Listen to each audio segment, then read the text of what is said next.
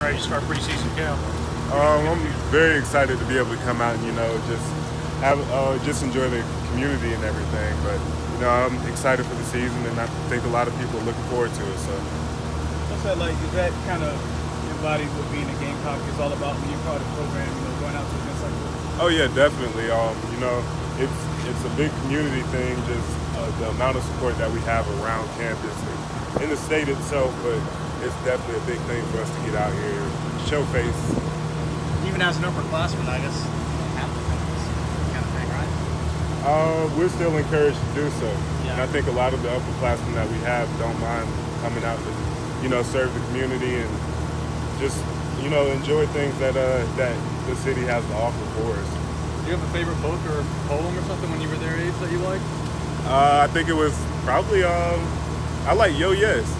I definitely like that one today. That was a that was a good book. But Have you ever written any poetry? uh, probably in middle school or early, early elementary school, middle school. So I mean, it was kind of fun to you know see everybody get up there and read them. stuff. a lot of freshmen here today. Can you just talk about what's it been like to have them on campus? What kind of relationships you starting to form with them? Um, yes, the freshmen here have been they've been great. You know, they've been adapting pretty well. They've been very, very receptive of everything that the coaches have been, you know, pushing on them and all of the upperclassmen are helping those guys just understand, you know, the things that are expected from them and from the program, and you know, they're adapting extremely well. So. TJ will seem pretty excited about this team in Atlanta for media days. How do you guys feel as the upperclassmen? I think everyone's excited. Um, you know, a lot of guys have their third year of experience. Uh, everyone's been working really hard in the off season, so I think everyone's excited just to put out, you know, everything that they've been working on. What are you most looking forward to going into camp? Especially, you know, a lot's going to be expecting you to kind of be, that linebacker coach. Uh, I think I expect for myself just to, you know, be that leader for the guy to be out there for the third year um, and also be a leader on defense. But I think the coaches really just expect us to, you know, expand on everything that we've been learning for the past few years and just come out with camp with the, well, come out to camp with the high intensity and just be able to, you know, develop, just continue to get better in everything. So. Yeah, what's it like to be at these kind of events, dealing with kids and having fun with them and doing reading and poetry? And what, how's that help you and help, help uh, the freshmen grow?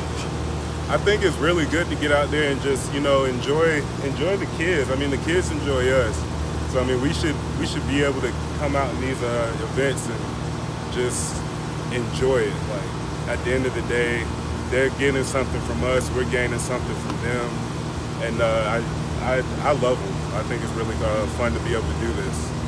Positive distraction for you then, instead of just going to football, you think about camp, next thing up.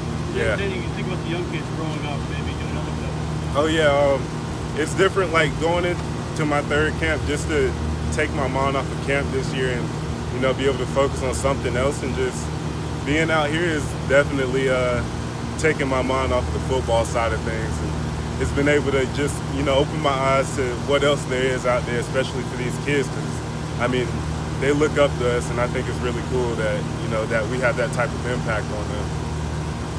With the recruiting that has happened and some of the transfers coming in, you feel like the defense, at least right now on paper, is very, very well active?